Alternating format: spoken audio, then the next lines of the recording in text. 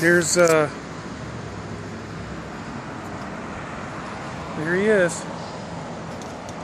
That's, um, Jesus. He just came, he went down, he saw me, and then he went down behind the, uh, he went down behind the uh, Goodwill to steal.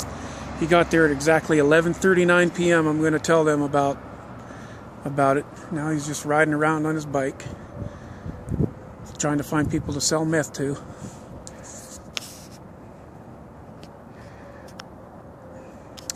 He's got five different bicycles that he rides. That he now he's going to the front door of the.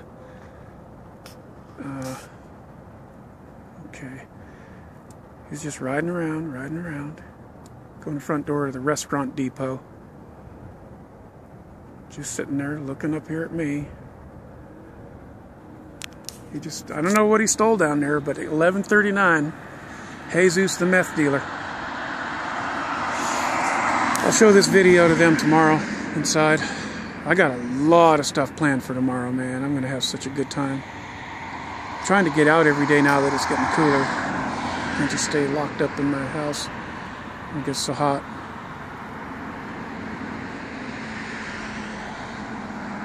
Now it's getting cooler. I can go out, do things, walk. I'm enjoying myself. Oh, there goes Jesus the meth dealer. Sells meth to 15 year old boys. Makes death threats to me because I stopped him from selling meth to 15 year old boys. Someone said they knew that I've been posting videos about him online. Someone saw it. And they told me, be careful. I said, yeah, not me. It's not me that needs to be careful. It's not me.